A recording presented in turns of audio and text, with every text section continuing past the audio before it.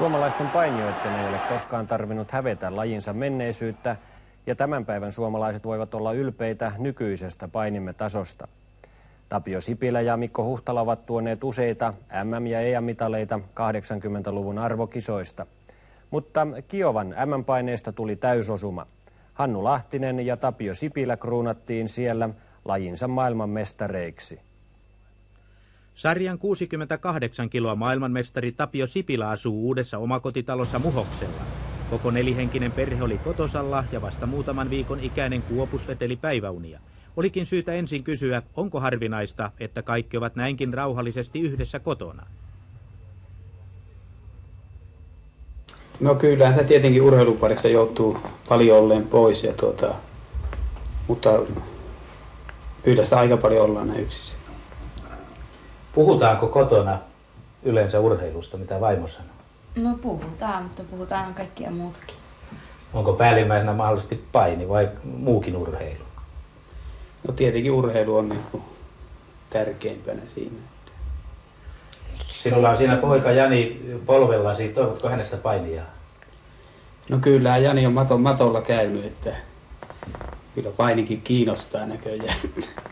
Ja minä alan Täältä takkahuoneesta löytyvät mitallit ja viimeistä, eli maailmanmestaruusmitalia asetetaan paikalleen. Tapio, mitkä näistä ovat sinulle mieluisimpia? No tietenkin miesten ensimmäinen kolmas palakinto sain Sekkoslovakkiasta ja se jäi niin kuin mieleen. Ja sitten on Osron MM-kissoista tämä hopiatila. Ja se tuossa, on niin kuin toinen. Ja tuossa näyttää olevan myös SM-mitaleita melkoinen joukko. Joo, tässä on niin kuin kaksi riviä. No jos palataan sinun kouluajoillesi, mitä sieltä löytyy? Niin, no mä oon tehnyt semmoisen ensimmäistä palakinnoista on tässä niin kuin. Tämähän on komean näköinen näyttö. Minkä ikäinen olit silloin? Mä olin seit- seitsemänvuotias. Sinun työpaikkasi on täällä Oulujoki Oyn voimalaitoksella. Kuinka työnantaja suhtautuu urheiluharrastukseesi? Kyllä Oulujoki osakeyhtiö suhtautuu erittäin myönteisesti tähän harrastukseen. Onko sinulla kokonaan vapaata työstä? No mä oon ollut niin puolipäivähommissa ja sitten niin ennen kisoja. Varsinkin nyt ensimmäisen kerran M-kissoihin jäin, oli kaksi ja puoli kuukautta virkavapaata. Ja mikä on tarkka työsi täällä? No mä oon koneasentajana voimalaitoshommassa ja sitten tuossa korjaamuspajaa. Ei se oikein pahasti ole. Tarvitaanko hierontaa itse kisojen yhteydessä? Kyllä hieronta on palauttavana kovan matsin jälkeen, niin se on ehdoton.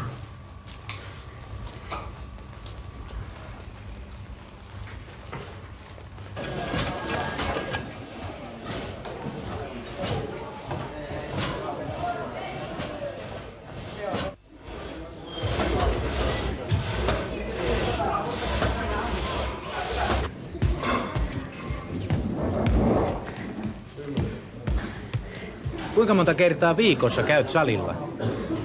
No mulla on kotiolossa 10-12 kertaa. Jos ajattelemme tulevaa kautta, siellähän ovat sekä Euroopan mestaruuskilpailut että olympiakisat.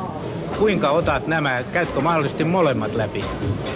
No siinä on vielä justiin sen ratkaisua tehnyt siinä, että kun EM-kisat ja olympialahin väli on niin lyhyt, että että kannattaa aika tarkkaan harjoitella, että käykö EM-kisoja ollenkaan, että suoraan tähtää olympiakisoja.